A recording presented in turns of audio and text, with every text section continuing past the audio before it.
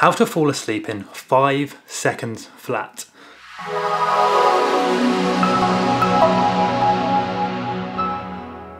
Yes, it's possible, and in this video I'll show you how. So my name's Steph, I teach lucid dreaming and sleep hacks, sleep tips, that kind of thing. And I'm often asked by people, especially video gamers or people that maybe work night shift or stay up late, how can I fall asleep faster and more easily? Specifically, how can I fall asleep in just a few seconds? People want it instantly. Okay, so I will explain exactly how to do that in this video. Now, this is a technique that the military actually use because the military often have to fall asleep, firstly, very quickly, but also in stressful situations. Maybe they have like a really intense physical activity session or a watch or something, or even like a, a battle or something stressful, and then they need to fall asleep quickly, ready to wake up early again the next morning. And they need to do this all very efficiently and without feeling tired the next day. So they have developed or they use this technique that I'm going to share with you right now to fall asleep in just a few seconds. So the first thing you need to do is just to relax your entire upper body, specifically your face and your mouth. We carry a lot of tension in our neck, in our mouths, and in our shoulders. So focus just firstly on those things and relax them really deeply. By the way, after I've explained this military technique, I'm also going to share with you some other things to make it even more effective, some things you can do during the day and also before you go to sleep as well. But let's just carry on with the technique for how to fall asleep in five seconds. So you relax your face, your shoulders, your muscles, okay? And then you want to focus on dropping your shoulders down.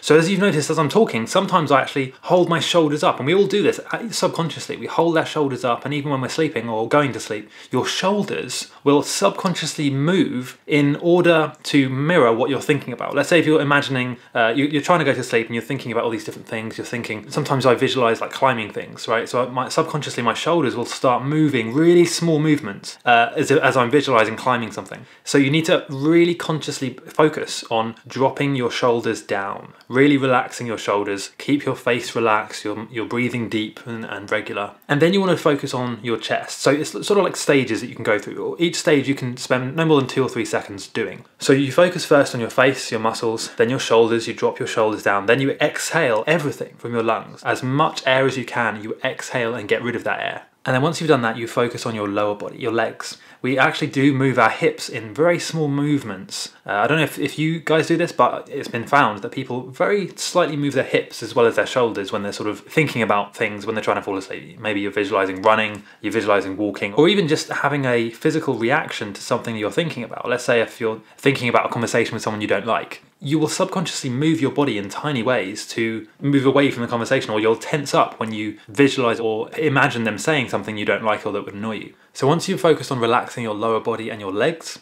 now you're going to focus on visualizing a relaxing scene for just 10 seconds. Just for 10 seconds. And you're probably thinking, well, hold on, this title said how to fall asleep in five seconds. You will fall asleep in five seconds once you've done these things. So the total processing time, the total sort of time for you to do this technique is roughly two to three minutes. Okay, you can spend a few seconds on each stage, but it's still going to get you to fall asleep pretty quickly. Very quickly, I would say. So you focus on a relaxing scene. This could be a beach. I like to focus on walking through a forest. You know, one of those forests where the trees are really, really far apart. So you can kind of, you've got lots of space to walk around. You can see birds flying, uh, really peaceful. So picture a scene that you would like to walk through and then visualize yourself walking through that scene really slowly, just for 10 seconds. That's all you need to do it for. You'll be able to fall asleep pretty quickly after your intense video gaming session. I don't know if any of you are video gamers, but. And now once you've done all of that, now the final stage. This is where you can fall asleep in just five seconds. So you need to repeat something over and over to yourself. Things like, I am asleep or stop thinking. Those two things you repeat over and over again, uh, roughly 10 to 20 seconds, as fast as you can think or imagine them,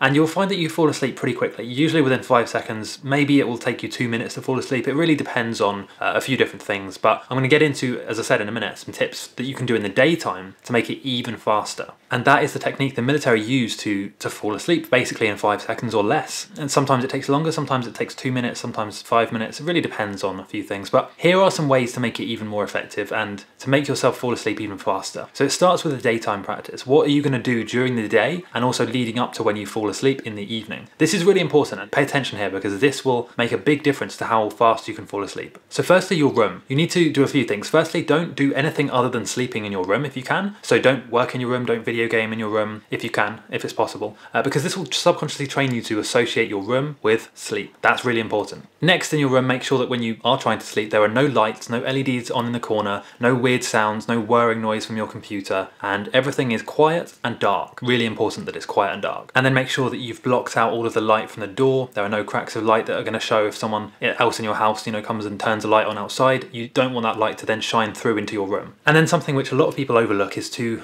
ensure that underneath your bed there is nothing blocking airflow to your mattress. Okay, the sleep uh, quality is massively dependent on your temperature throughout the night. If you've got loads of junk under your bed, it's stopping the airflow coming up through your mattress and basically regulating your temperature. That's why beds are raised above the ground because they are designed to allow airflow through the slats of the bed through the mattress to keep you cool. If you've got loads of stuff there, it stops the airflow, you overheat, and you, best case scenario, you don't have a very good night's sleep. Worst case scenario, you overheat and wake up. So that's the bedroom setup done. Now there are some tips that you should also focus on. So this is specifically in the few hours before you go to sleep. You don't want to eat anything big or heavy and you don't want to have any stimulants, kind of goes without saying, but you know, caffeine, sugar, alcohol, uh, tobacco, these things will keep you awake. And then right as you're going to sleep, and if you're having trouble falling asleep, and let's say if you've woken up at 2 a.m., I don't know what time you try and fall asleep, you guys, but let's say if you're trying to sleep and it's 2 or 3 a.m., you know you've got to be up for school or work in the morning, and you're just trying to fall asleep basically, do not look at the time. In fact, put your phone far away from your bed so you can't even check the time even if you wanted to, because every time you check the time and realize you're not sleeping yet, it's going to be more stressful and you're going to realize the stress is going to keep you up longer because you'll be having this loop going on in your head where you check the time, you realize it's late, you realize you should be asleep by now, you panic, and then you realize even more awake, now I can't fall asleep. And it's sort of like a vicious cycle that keeps on going on. So put your phone away, make sure you can't see the time, and just lay there motionless. And if you need to, just go through these this cycle, the military technique, the five second technique, again and again until it works.